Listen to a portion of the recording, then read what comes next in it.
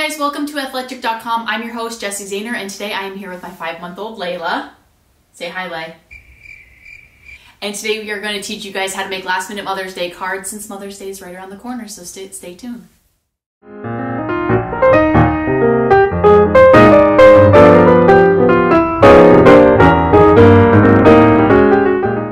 So all you're going to need really to get this project done is some paint, paintbrushes, and paper. Okay guys, so what you're gonna wanna do first is grab your palette and grab your small paintbrush and we're gonna work on the tulips first or the flowers first. So what we're gonna do is we're gonna take one of the colors other than green and we're gonna paint half of your child's foot So next what you're going to want to do is you're going to want to grab your paper. I put a hard surface under my paper so that way with the baby I can have her press down on it. Um, with the child, you can just have them step on a piece of paper. And then what you're going to want to do is you're just going to want to, with the baby, count to three. One, two, three.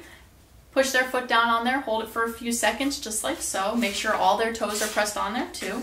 And let it go. And there you go. You have your first print.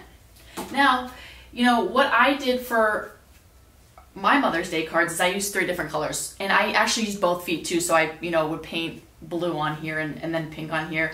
Um, but for the sake of time for this um, video, we're just going to use the same color.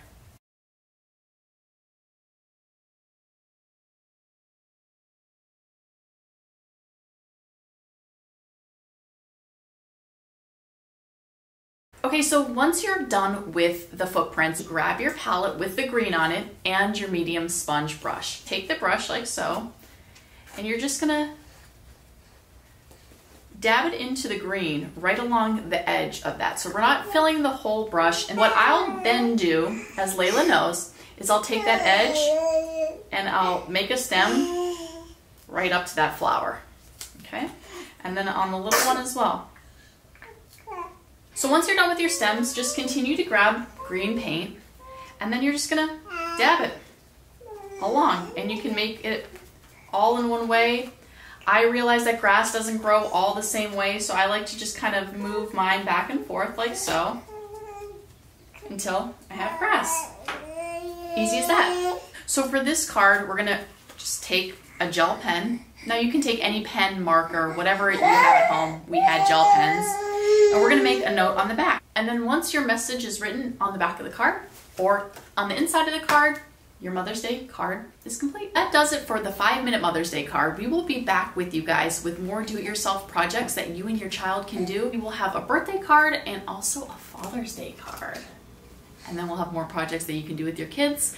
I'm your host, Jesse Zahner. Thanks so much for joining us on Athletchic.com. And my co-host, Layla Grace. Say hi to everybody or say bye.